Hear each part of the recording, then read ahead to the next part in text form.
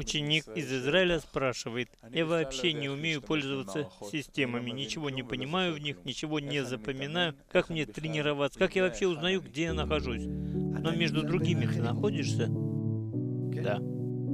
Начни участвовать в каких-то действиях в любви между всеми. Ну, будь хорошим. Скажи, что ты хочешь раскрыть связь между всеми нами, связь взаимную ради какой-то высокой цели. Начните всем этим заниматься, как описывает Рабаш в статьях о группе. Мы собрались здесь и так далее.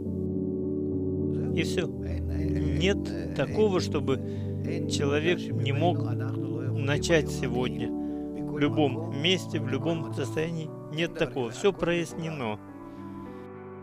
Конечно, есть новости, но они абсолютно личные относительно твоей души. Но в общем, вся система предоставлена нам.